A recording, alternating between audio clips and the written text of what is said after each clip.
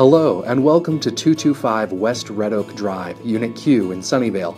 It has a fantastic location less than a mile to Lawrence's Caltrain station and Apple's new facility being built at Wolfe and Central.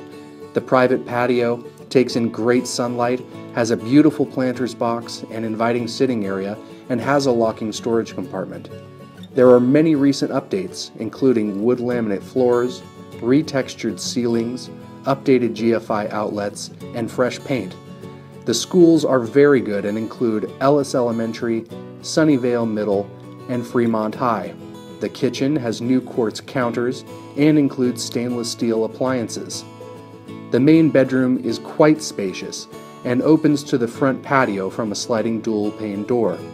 The bathroom has a new shower insert and glass door. It shows beautifully, so please contact Michael Majchrowicz for more information.